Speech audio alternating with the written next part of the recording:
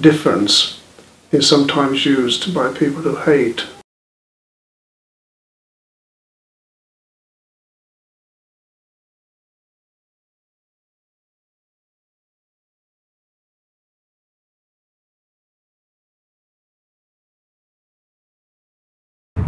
Hate crime is a, a dreadful offence and something we take really seriously. Sometimes the message of hate crime is a bit confusing, isn't it? You know, These things are happening, unfortunately, every day. We've had a series of assaults, robberies, sometimes because some of our, our children are different, purely because the way they've looked. My view is that housing is at the heart of things.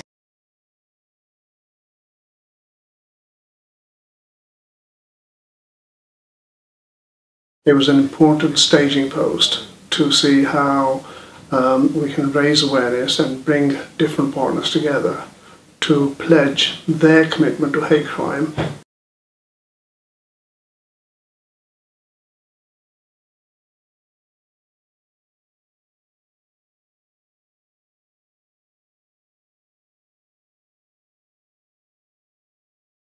and you can see and you can feel actually, you know, that the young people were taking the message on board. The story that Sylvia brings is very powerful.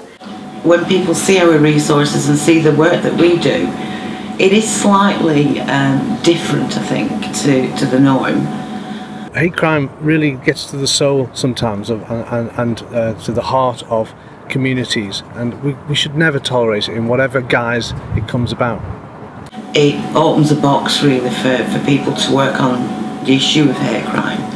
And although we focus on alternative subcultures, it isn't just about that. The other five strands of hate crime are covered and we'll give them a tool to be able to use in their schools um, to pass that message on. Sophie's story is so powerful.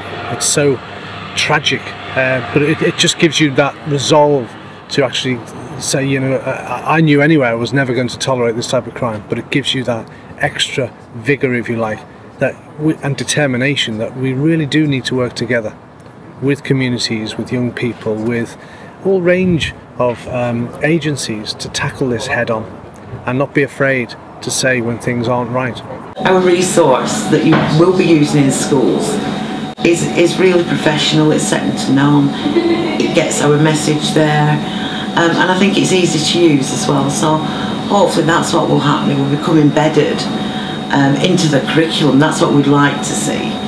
So that every school, every year at least, um, are using that resource. Uh, and some of us had known the story through the news reporting from years ago, seven or eight years ago, but this really brought it to life. It's such a harrowing story and to hear from the mother's own words. I mean, a positive, you know, is that that young people are, are taking it forward. It's really made them think about their behaviour. We live, as you know, uh, as a college in the centre of a very difficult, challenging part of the city. And I think in Derby, you, you will take that forward.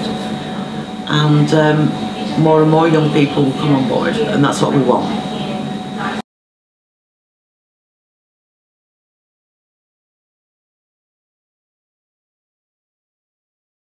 I'm particularly proud that as a culmination of last week's events, Derbyshire Constabulary accepted that they would start recording alternative subculture under their hate crime. Something that we take really seriously now is subcultures, alternative subcultures. So basically, children or young people being themselves and expressing themselves. That should not form any part of hate crime, and we take that really seriously. We're one of a few forces that are going to start recording uh, those offences. So when we can see uh, th- those types of hate crimes coming in, aimed at young people just basically growing up and expressing themselves, we can do something positive about that. Obviously, Derby Police yesterday um, announced that they would start monitoring alternative hate crime. We'll soon be able to talk numbers, talk figures, and educate young people to value everyone. So we're now up to 13 forces. I want to use that information to see how and what we need to commission to continue the work and uh, actually across the whole of Derbyshire. We're trying to get the whole of the East Midlands, and then you will be the first um, area uh, to have all all police forces to have gone. So that'd be quite interesting. Really, it was major awareness for a lot of us, including ourselves, really, about the five strands of hate crime and the difference between hate crime incidents and hate crime itself. What I would like you to do, Bill, is get all those good people that you talked about together um, and let's work together and get Lincolnshire on board and Northamptonshire on board and then you will be the first of the regions as a whole to go with um, alternative subcultures. How good would that be, Bill? Last week, though, was really the start of much, much wider networking and developing the whole commitment across the county. We hope that this isn't going to be uh, the end of our involvement with the Sophie Lancaster Foundation.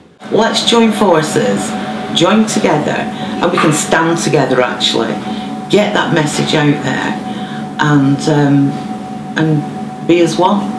The most important thing now, though, is, is what we do next. It's also about that community and building on, on a community. We can't tackle this alone, and we work with a number of key partner agencies and also members of the community to tackle it.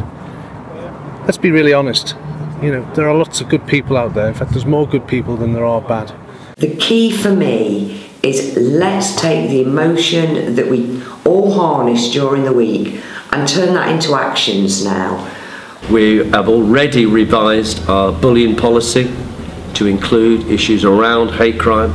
We need to work with people in, in positions of influence, and through that, we will make a difference and it will just become mainstream like much of the rest of the work we do. I met Maria um, a couple of years ago actually, and she promised then that she would um, take our message forward into Derby, and um, she's done that. Okay, so let's talk about advice and, and what we can do going forward.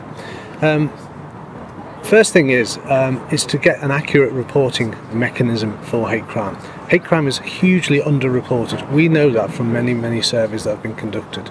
So whether you are part of the LGBT community or whether you're from a um, particular um, community uh, that is, is new to the UK, we know that hate crime is underreported. What we have to do jointly is to make sure that our educational messages are, are, strong and clear that hate crime should never be tolerated. That if you're a victim of hate crime, report it. Report it to the police or through third party agencies that are set up to receive that information. That's the clear message that we have to get out there. We have to start understanding the problem of hate crime more. So, not just statistically, but actually understand some of those root causes. And that way, we can tackle them both preventative and also making sure that we pursue offenders that are involved in that type of criminal activity.